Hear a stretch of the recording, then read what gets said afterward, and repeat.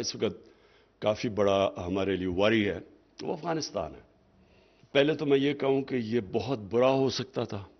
इससे बहुत बुरे हालात हो सकते थे। हमें खौफ ये था कि यहाँ सिविल वॉर शुरू हो जाएगी। हमने जब तालिबान के डेलीगेशन यहाँ आए भी तो जो हमें सारी हमारी एजेंसीज ने रिपोर्ट किया था अफ़गानिस्तान में तो उन्होंने कहा, अगर तालिबान ने सारा अफ़गानिस्तान के ऊपर फतह करने की कोशिश की तो वो नहीं कर सकेंगे और वहाँ प्रोट्रैक्टेड सिविल वॉर हो जाएगी।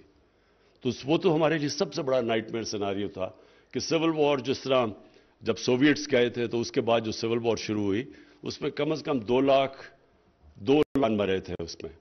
और उसके उसके जो रेफ्यूजी प्रॉब्लम था, पाकिस्तान को वो बर्दाश्त करना पड़ा। तो अभी भी हमारा नाइटमेयर सिनारियो तो ये था कि सिविल वॉर होगी और यहाँ फिर रेफ्यूजीज और और अफ़गानिस्तान की तबाही होगी।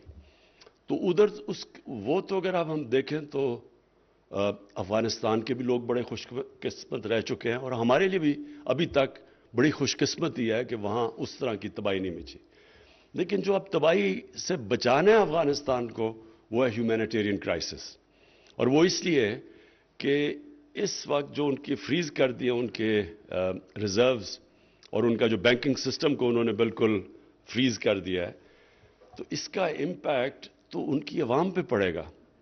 और हम पूरी कोशिश कर रहे हैं ओआईसी के फॉरेन मिनिस्टर्स की मीटिंग भी है इंशाल्लाह अगले हफ़्ते, जिसमें हम पूरी कोशिश कर रहे हैं कि दुनिया को आगाह करें कि वो अगर जितना भी आप तालिबान को पसंद करें या ना करें इशू तो इस वक्त चार करोड़ अफगान लोग हैं। तो वो जो इंसान है, उनके ऊपर क्या गुजर रही है?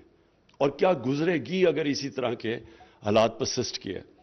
तो पाकिस्तान अपनी पूरी कोशिश करेगा, लेकिन जब तक कि अमेरिका के अंदर ये रियलाइजेशन नहीं आती कि अगर वो इसी तरह उनको, उनके फंड्स को फ्रीज कर दिया और उनकी इकोनॉमी को स्क्वीज कर दिया और ये ह्यूमैनिटेरियन क्राइसिस उधर चला गया, जिस तरफ़ ये जा रहा है तो इसका नुकसान तो सबको होगा।